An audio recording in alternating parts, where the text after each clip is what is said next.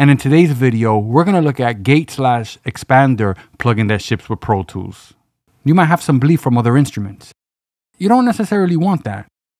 Some people really don't care and add it all in the mix, and some use gates to kind of isolate each individual element. So over here, I have a snare. So let's say you wanted to remove some of that bleed. So the plugin's on its default setting, thresholds all the way down. It's not doing anything. The minute I stop it, you see the gain reduction? It's completely stopping any sound from coming in. The thing is, the threshold is all the way down, so the minute I press play, it opens up.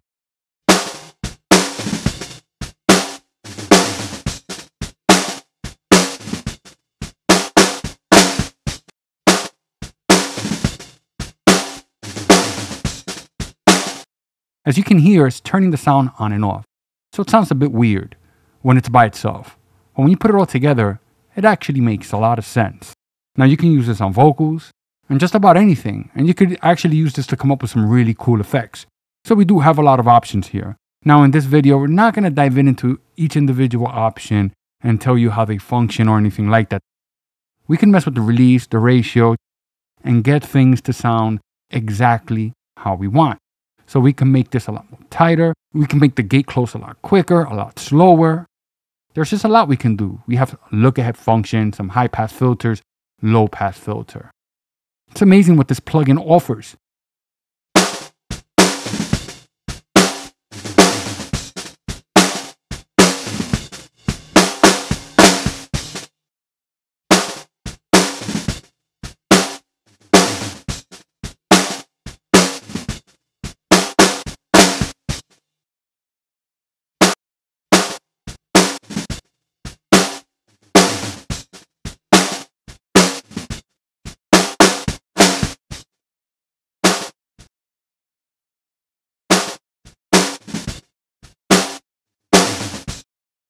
If you spend a lot of time tweaking, you will get that effect that you're looking for.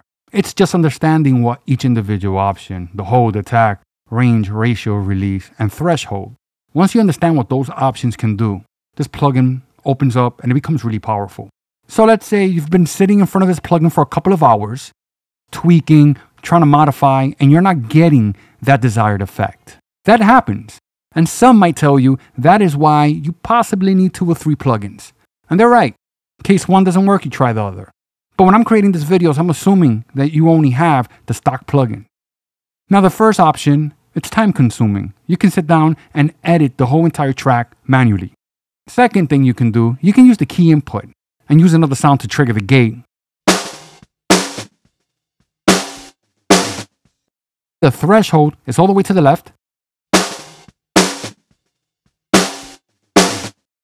It's actually working a lot better by using the key input. It's not perfect, so that's something you can do really quick. So just because you see a great deal on a plugin doesn't mean you have to get it. And if you do purchase it, thinking that it's going to be better than this one, it might actually be better. But if you're not familiar with how these tools work, then it makes no sense.